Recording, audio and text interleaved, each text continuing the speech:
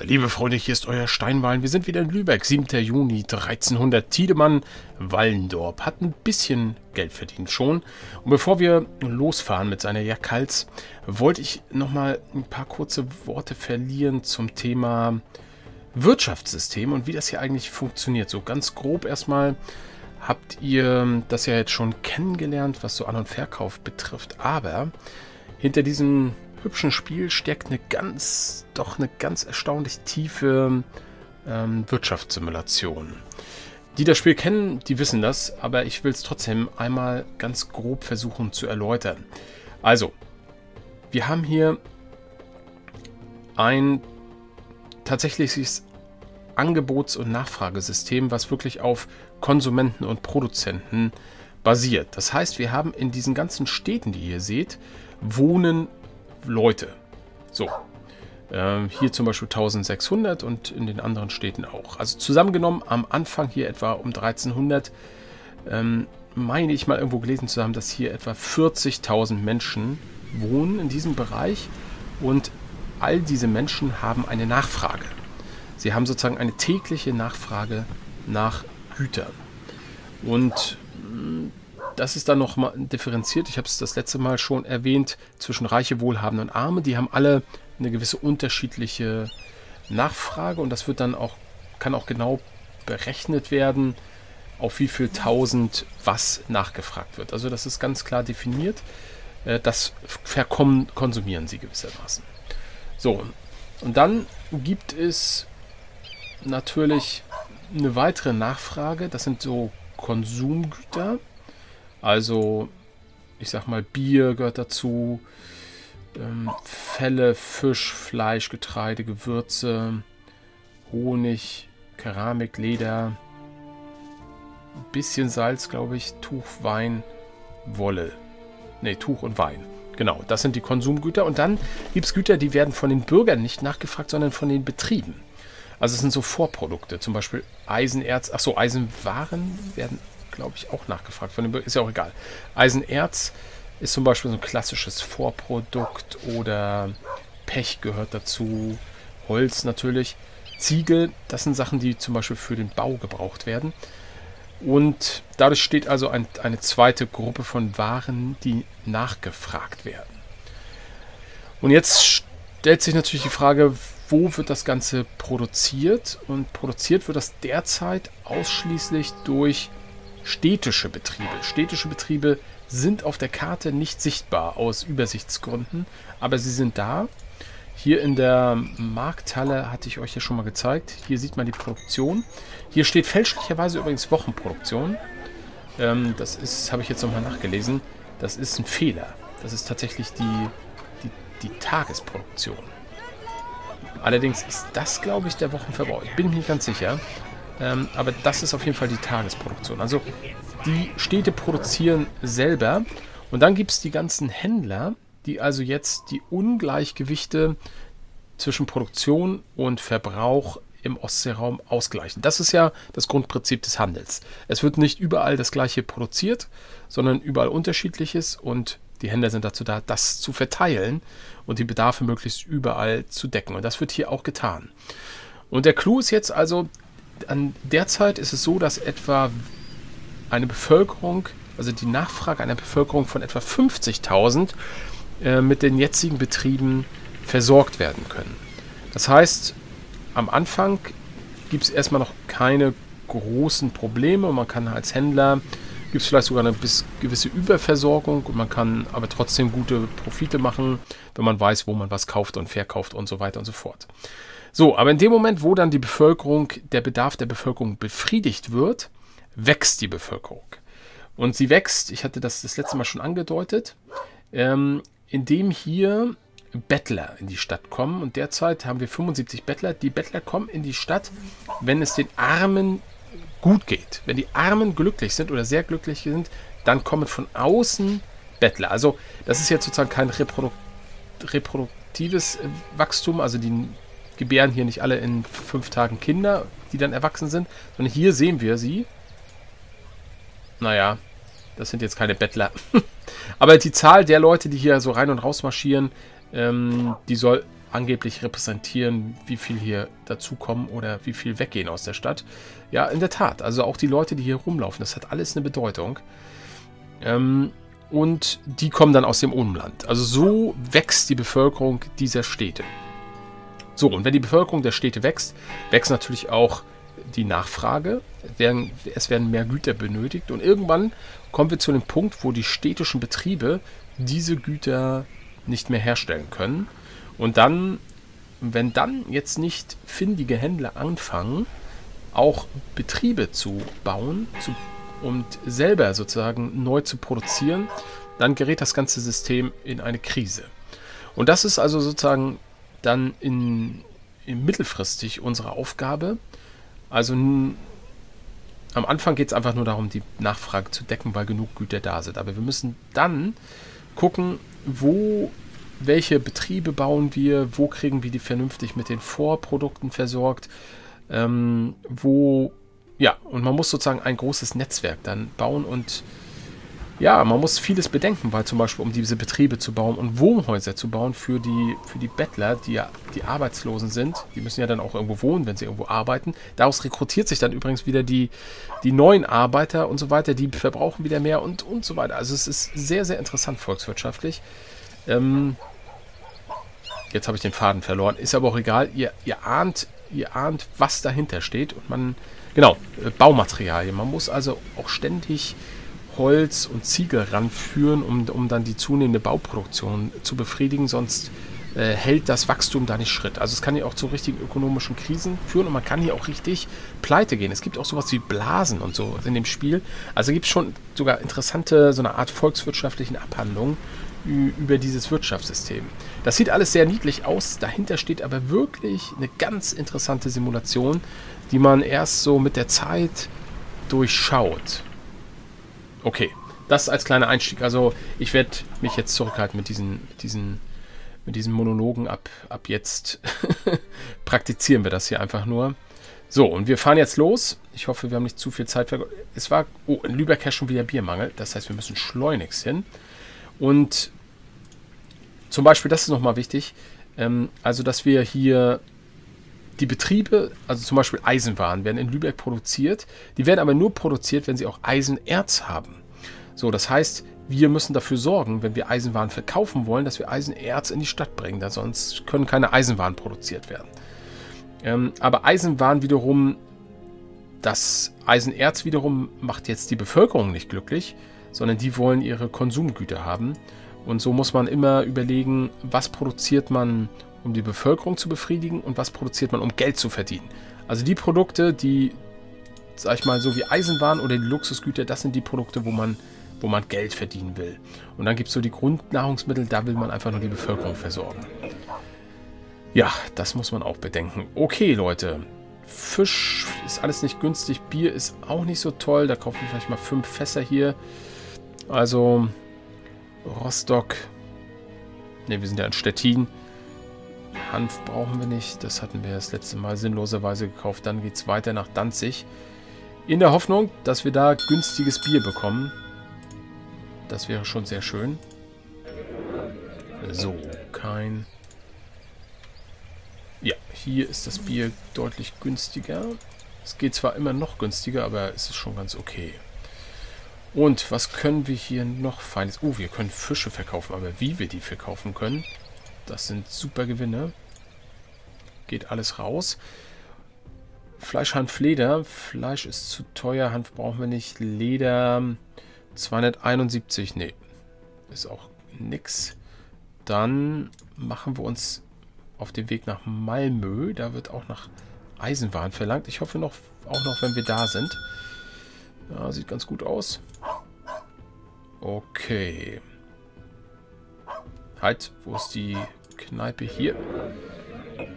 Kein Kapitän da. Fisch. Ah, Fisch läuft ja im Moment echt gut. Bin immer so ein bisschen skeptisch bei Fisch. Müssen wir natürlich auch aufpassen, dass wir Lübeck nicht Fisch wegkaufen.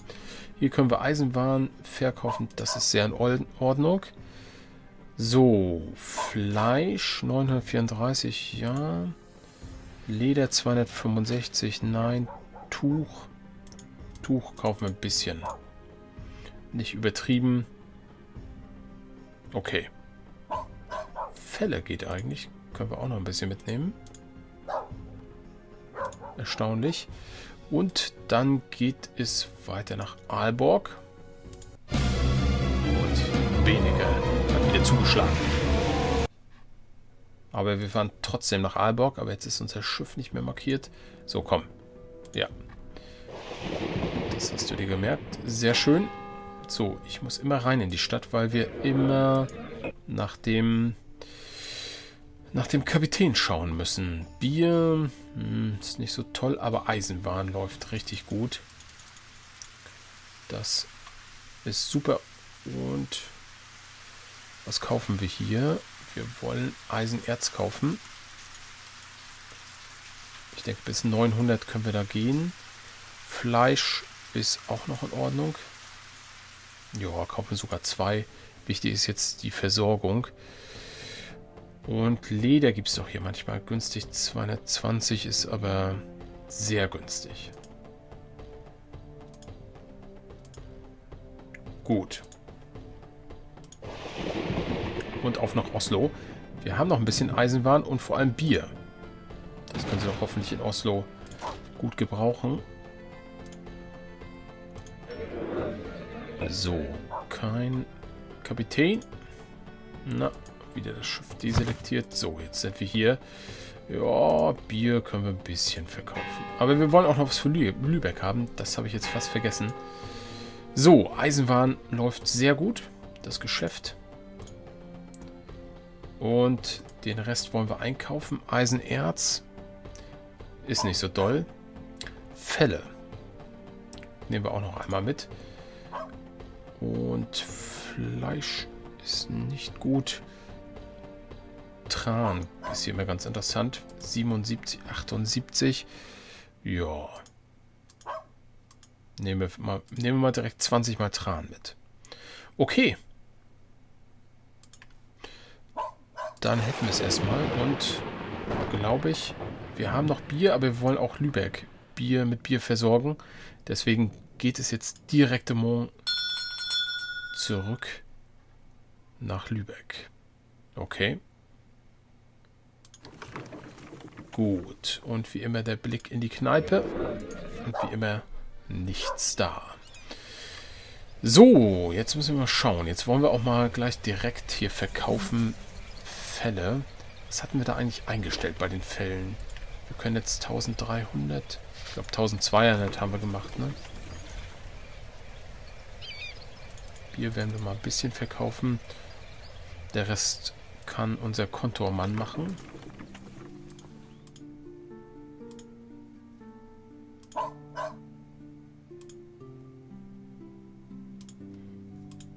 So, sehr schön. Langsam füllt sich das Konto. Ich muss mal gucken. Hatten wir jetzt alles? Tuch und Tran ist, glaube ich, neu. Tuch, Tran, Leder. Weiß ich nicht mehr. Habe ich vergessen. Tuch Tran müssen wir einstellen. Tran. Hm, machen wir mal für 140.